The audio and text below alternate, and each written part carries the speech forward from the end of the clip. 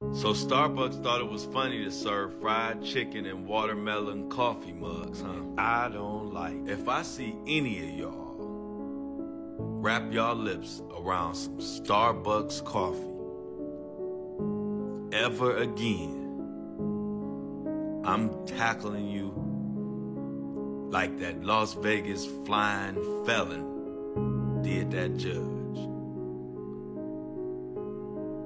These Starbucks is so thirsty for the black dollar and could care less about the black people. They dropping watermelon mugs on Martin Luther King Day. Now, I don't know what day they dropped these damn mugs, but whatever day they dropped them, pissed me off. Some of y'all gonna go get a Frappuccino right as this video playing. Y'all see that mug, man? Are we gonna let them continue to play with us? Watermelon is not even in season.